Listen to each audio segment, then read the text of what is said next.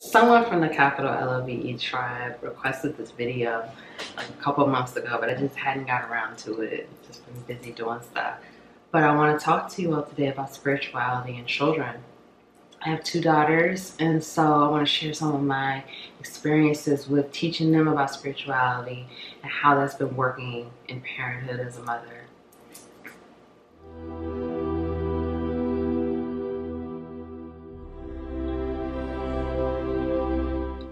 Welcome back to the Divine Healing with Love channel. I am Nicole. Thank you all so much for being here with me today. Welcome back to the Capital L-O-V-E tribe. I love you all so much. Thank you for being here with me today. I hope you are well. I'm so grateful to be here with you, to be on this journey with you. It's healing for you, it's healing for me. Thank you all so much. So let's talk about spirituality and being a parent, okay? Whew. So, I mean, I talked about this in another video. I can't remember which one, but it's on my channel. It's my teaching videos. And if I remember, I'll link it below. But anyway, um, I really started having a lot of awakenings when I had my first daughter. She's now eight years old. So she really probably brought on the first really big awakening that I had. And so prior to having her, I identified as being a Christian. And, you know, I don't identify with any religion now. I'm spiritual, but I don't identify as having a religion. But I still very much believe in Christ consciousness, the way Jesus showed us how to do things, being on that Jesus wavelength you know, working with Jesus. I work with Jesus all the time. I love Jesus. But I don't I just don't identify with religion because I just feel like it just keeps us separated. This is just my personal beliefs. You don't have to agree. I just feel like it keeps a lot of us separated and we need to move beyond that and just come together and be unified. Okay. So that's just my belief. But with raising my children, and of course I co-parent with my ex-husband, and he doesn't identify with having a religion as well. So it was able for us, it was able for us to work well with that, to get on the same page with that. But, you know, I do tell him like, hey, you know, like my children, you know, they've been to church and, you know, they because my parents are Christian, my family is Christian. So they definitely are introduced to a lot of things in Christianity, but I do introduce them to the spiritual side as well, which is what my family does not really talk about. So I'm bringing in a different layer of all of this. So with my children, I'm very open and honest with them. I'm very open and honest. I speak to them almost as if, I don't want to say as if they are adults. I don't talk to them as if they are adults, but I'm very, the type of conversations that we have can be considered sometimes like upper level conversations that probably people wouldn't normally talk about with children. My two daughters, my oldest is eight and the youngest is six Blair and Blake. So they are very curious. They're very curious and they want to know. They're always asking a lot of questions. So when they ask me questions, I'm very honest about it.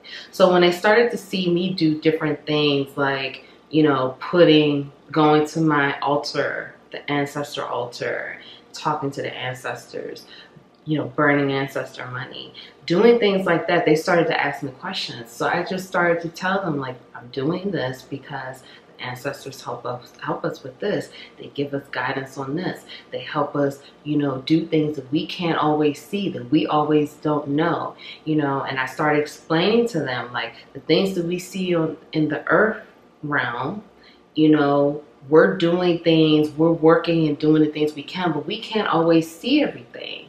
So they're showing us from the spiritual side, the spiritual realm, they're guiding us and leading us on the path that we should be on because sometimes we need that help and support because we're not always able to see those things.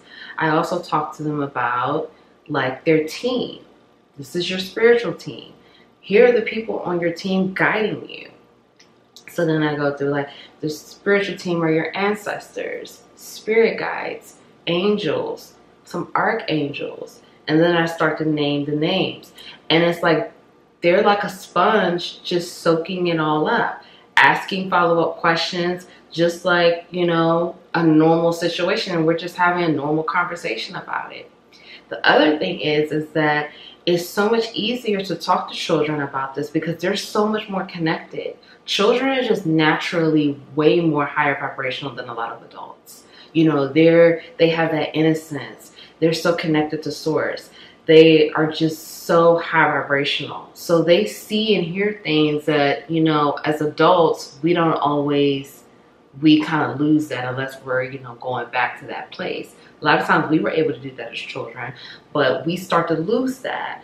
So they started naming people, when I started talking about ancestors, they started naming people that had passed on.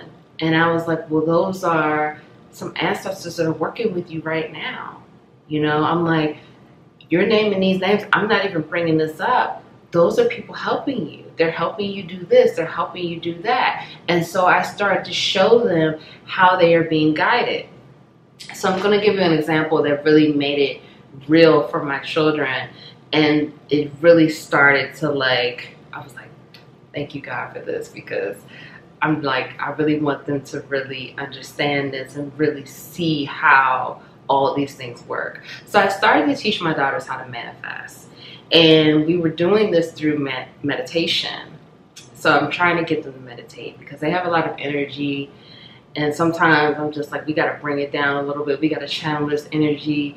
We do things like going outside to get this energy out. But some days when I'm just like, look, come on, let's go meditate. Let's clear our head, all of that. So we were sitting down to meditate. And I remember when I started meditating, a big, you know, I don't know what you want to say, a big incentive to get me to start meditating was law of attraction. That's what I really wanted to tap into because I was really, I was already manifesting, but I really wanted to kick it up a notch.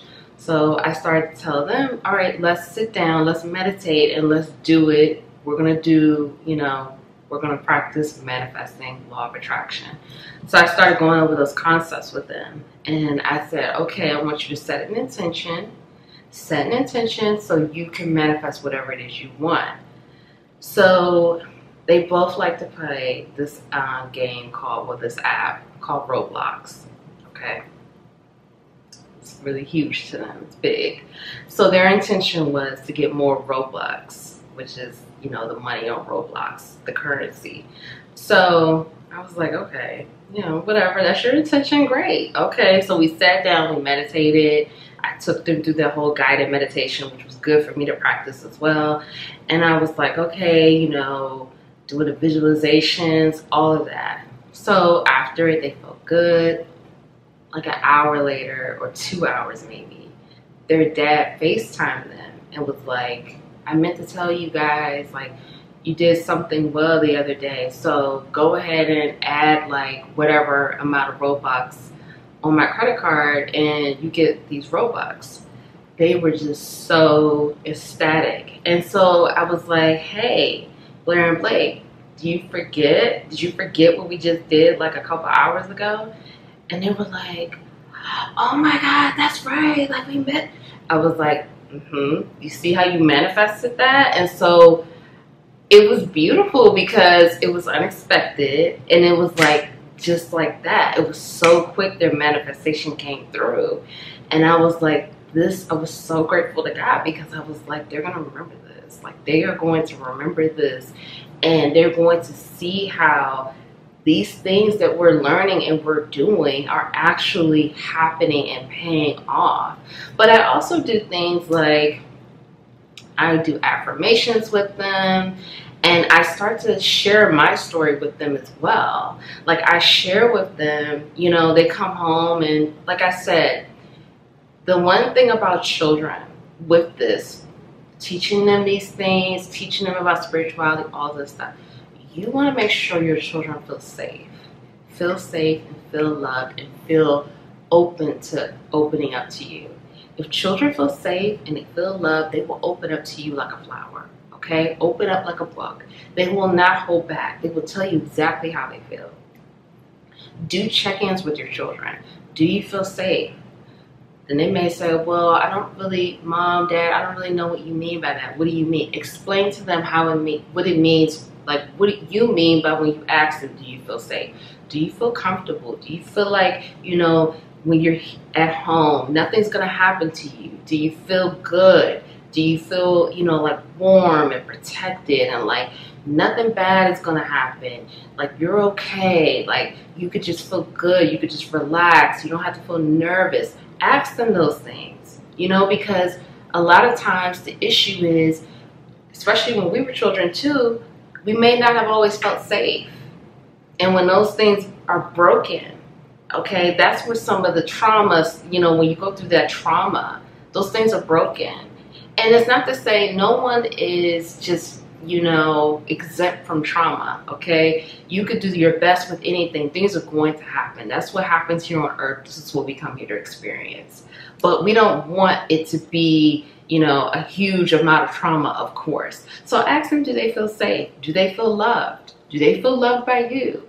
You know, do you feel loved by me? I had those conversations with my children and they were like, yeah, we do feel like you love us, but we don't like it when you do this.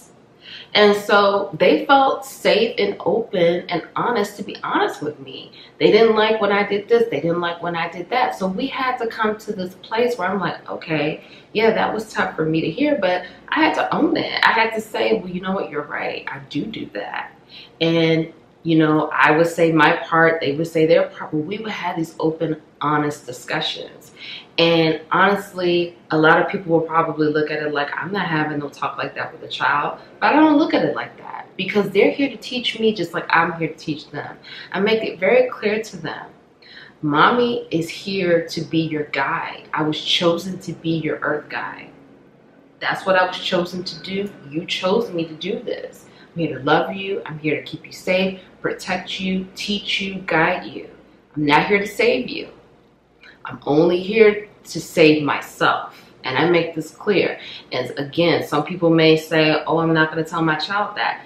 I'm having these conversations now. So you don't think I'm always here to support you, guide you, love you, show you the way, teach you. I'm not here to save you. You are here to save yourself. Just like I'm here to save myself, I'm not here to save anyone else but me. You are here to save yourself. And I'm teaching them them those things now so they know so it's not going to be a codependent attachment. They're going to live in their truth. I'm living in my truth. You're teaching me, I'm teaching you. I'm loving you, you're loving me. It's an equal balanced relationship just like with anything else. An equal balanced relationship, okay? And so these are the kind of conversations and the things that I've been teaching my children and really showing them like, you know, these are some of the things that I want you to know now. And these are the things that you could do to save yourself. And we talk about it. We do affirmations, you know, and I join in too because I tell them about my struggles with my confidence, not feeling good enough, not feeling worthy enough you know, I don't go too deep because they're still really young. But as they get older, I am going to go deeper and tell them more about my experiences when the time is right. And just kind of tell them, like, yeah, I dealt with that, you know, especially when they come to me because now, again, they're back in school. So they're coming to me telling me about certain situations and we talk about it. We break we break it down, we talk about it, and I'm giving some of my experiences and telling them what I had to deal with, and we just have a beautiful conversation and it's healing, learning, and growth for both of us, for all of us, rather, because the three of us, we talk about it together. So, you know, make sure your children feel safe and loved because if they feel safe and loved, they will tell you anything. Okay? They will tell you whatever. I have a lot of experience with children because I taught in the classroom. I was a teacher I taught for 15 years. I worked with children for a long time. And, and then I have my own children. So, you know, and I love children. And I just feel like they can teach us so much if we're just willing to be open, open ourselves up to learn, you know, and not look at it like this, this person's five years old. What can I learn from them? No, learn from anyone, okay? When you have, when you build these relationships with your children and you're teaching them, you want to teach them that I'm here to learn from you, you're here to learn from me, okay? This is mutual respect, mutual love. This is the we're building a balanced relationship. We have a balanced relationship. And they may say, well, what is that? And then, you know, you could explain what that looks like. Okay. And start from there and just have, you, you will notice how much more your children will be more open and transparent with you when you do that. And you have to be transparent with them as well and give them some of your, you know, experiences when the time is right and the proper, necessary, you know, confines of the situation.